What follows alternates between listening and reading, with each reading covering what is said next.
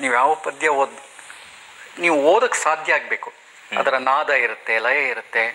ಅದರಿಂದ ಅದೃಶ್ಯ ಲೋಕದ ಅನೂಹ್ಯ ರೂಪದ ಅನಂತ ಕಾಲದ ಯಾತ್ರಿಕರೇ ಮಣ್ಣಿನ ಮನದಲ್ಲಿ ಹೊನ್ನನೆ ಬೆಳೆಯುವ ಅಪೂರ್ವ ತೇಜದ ಮಾಂತ್ರಿಕರೇ ಅತಿಥಿಗಳ ಅತಿಥಿಗಳ ನೀವೆಲ್ಲರೂ ಇಲ್ಲಿಗೆ ನೆಲೆಸಲು ಬಂದವರಲ್ಲ. ಒಂದೆಗಳಿಗೆ ಆ ಮೋದಕ್ಕೆ ಬರುವಿರಿ ಬಂದರಗಳಿಗೆ ಒಳೆಯ ಮೈಗರವಿರಿ ವಿಜನ ವಿಜನ ಮನವು ಶೂನ್ಯ ಶೂನ್ಯ ದಿನವು. ಅತಿಥಿಗಳು ಪದ್ಯ ಅಡಿಗಿರುದು. ಹ್ಮ್. ನೋಡಿ ಲಯ ಇವತ್ತು ಬ- ಪದ್ಯದ ಬಹಳ ದೊಡ್ಡ ಶಕ್ತಿ ಏನಂದ್ರೆ ಲಯ ರೀ ಲಯ ಹೌದು.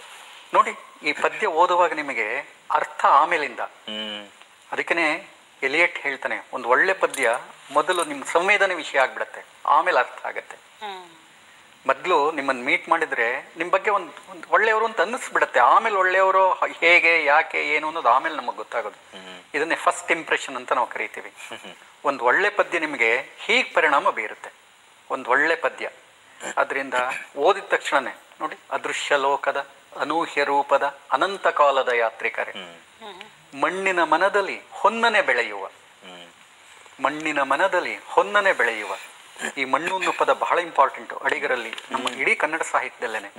ಅದರಿಂದ ಯಾವ ಮೋಹನ ಮುರಳಿ ಕರೆಯಿತು ದೂರ ತೀರಕ್ಕೆ ನಿನ್ನನು ಯಾವ ಬೃಂದಾವನವು ಸೆಳೆಯಿತು ನಿನ್ನ ಮಣ್ಣಿನ ಕಣ್ಣನು ಇಲ್ಲ ಪೊಯಿಟ್ರಿ ಹುಟ್ಟದು. ಹೌದು. ನೋಡಿ ಕಣ್ಣು ನಮಗ್ ಗೊತ್ತು. ಮಣ್ಣು ಗೊತ್ತು. ಮಣ್ಣಿನ ಕಣ್ಣು ಯಾವುದು? ಇದು ಪೈಟ್ರಿ ಎಷ್ಟೋ ಸಲ ನಾವು ಯಾವ ಮೋಹನ ಮುರಳಿ ಎಲ್ಲರೂ ಹಾಡ್ತಾರೆ ಕೇಳ್ತಾರೆ. ಆದರೆ ಅರ್ಥ ಆದಾಗ ನಿಮ್ಗೆ ಹೆಚ್ಚಿನ ಸಂತೋಷ ಆಗುತ್ತೆ. ಯಾವ ಮೋಹನ ಮುರಳಿ ಕರೆಯಿತು ದೂರ ತೀರಕ್ಕೆ ನಿನ್ನನು ಯಾವ ಬೃಂದಾವನವು ಸೆಳೆಯಿತು ನಿನ್ನ ಮಣ್ಣಿನ ಕಣ್ಣನು ಏನಂದ್ರೆ ಇದುವರೆಗೆ ಈ ಲೌಕಿಕದಲ್ಲೇ ಆಕರ್ಷಿತನಾಗಿದ್ದೆ. ಈಗ ಎಲ್ಲೋ ಒಂದ್ ಕಡೆ ಅಲೌಕಿಕದ ಕರೆ ಕೇಳ್ತಾ ಇದೆಯಲ್ಲ?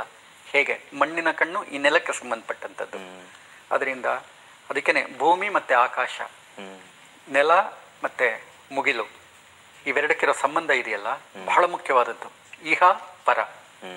ಲೌಕಿಕ ಅಲೌಕಿಕ. ಸೊ ಅಡಿಗರು ಅದನ್ನು ಬಹಳಷ್ಟು ಚೆನ್ನಾಗಿ ಇವಳೆದೆಗೆ ಬೇರಿಳಿದ ಕಾಲು ನನ್ನದು. ಬರಿದೆ ನಕ್ಷತ್ರ ಲೋಕಕ್ಕೂ ರೈಲು ಬಿಟ್ಟೆ. ಎಷ್ಟು ಅದ್ಭುತವಾದ ಸಾಲದು. ಹೌದು. ಅದರಿಂದ ಇವಳೆದೆಗೆ ಬೇರಿಳಿದ ಕಾಲು ನನ್ನದು. ಈ ಲೌಕಿಕದಲ್ಲೇ ಪೂರ್ತಿ ಮುಳುಗಿ ಹೋಗಿದ್ದೇನೆ ಬರಿದೆ ನಕ್ಷತ್ರ ಲೋಕಕ್ಕೂ ರೈಲು ಬಿಟ್ಟೆ. ಸುಮ್ಮನೆ ಆಧ್ಯಾತ್ಮನ್ ಮಾತಾಡ್ತೀನಿ.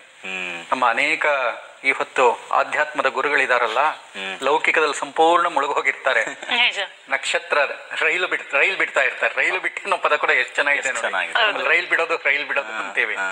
ಹಳಿ ಇಲ್ಲದೆ ರೈಲ್ ಬಿಡೋದು. ಹೌದು. ನಮ್ಮ ಅನೇಕ ಆಧ್ಯಾತ್ಮಿಕ ಗುರುಗಳು ಇವತ್ತು ಹೀಗೆ ಬೇರಿ ಬೇರಿಳಿದ ಕಾಲು ನೆಲ ಇಲ್ಲಿಗೆ ಬರಿದೆ ರೈಲ್ ಬಿಡ್ತಾ ಇರ್ತಾರೆ.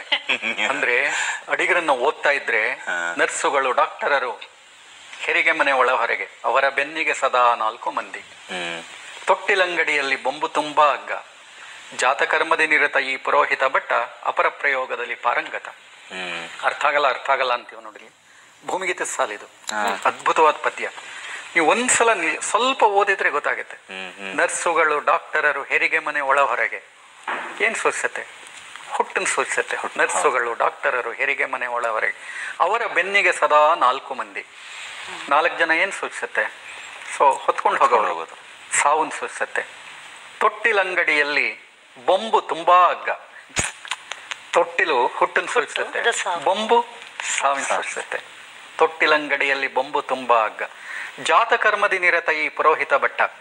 ನಾಮಕರಣ ಮಾಡಿಸ್ತಾನೆ. ಎಕ್ಸ್ಪರ್ಟ್ ಹೌದು. ಅವನೇನೆ ಏನನ್ ಮಾಡಿಸ್ತಾನೆ? ಅಪರ ಪ್ರಯೋಗದಲ್ಲಿ ಪಾರಂಗತ ತಿಥಿ ಮಾಡಿಸೋದಲ್ಲಿ ಎಕ್ಸ್ಪರ್ಟ್ ಇಡೀ ಸಾಲುಗಳನ್ನ ನೋಡಿದ್ರೆ ಹುಟ್ಟು ಸಾವು ಒಟ್ಟಿಗೆ ಇದೆ.